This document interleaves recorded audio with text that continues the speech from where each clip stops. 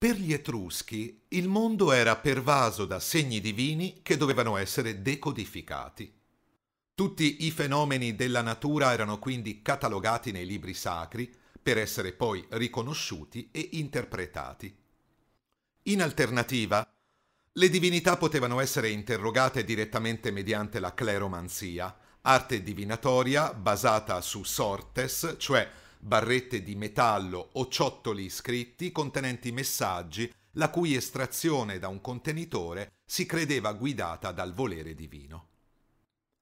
Ad Arezzo doveva essere presente un famoso santuario di Apollo oracolare, come ricordato dal commediografo latino Plauto. La notizia è confermata dal rinvenimento di due sortes, datate al III-II secolo a.C.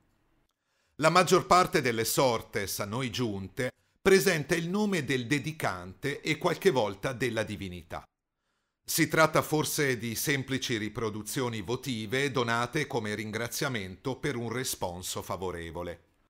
Un ex voto doveva essere il disco di piombo dal cimitero di Fraternita, che reca inciso il termine Shuri, ritenuto un appellativo del dio Manth, con il probabile significato di il nero, a indicare il mondo infero che questa divinità dominava. Già dalla seconda metà del VI secolo a.C., Manth, molto presente nella vita religiosa degli Etruschi, fu assimilato al greco Apollo, con il quale condivideva la connotazione oracolare e in particolare la cleromanzia.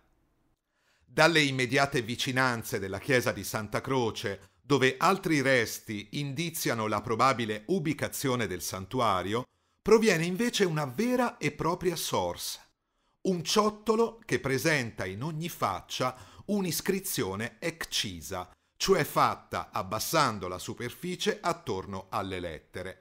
Le lettere a rilievo erano il simbolo della parola divina presente fatalmente sul ciottolo già prima della sua lavorazione.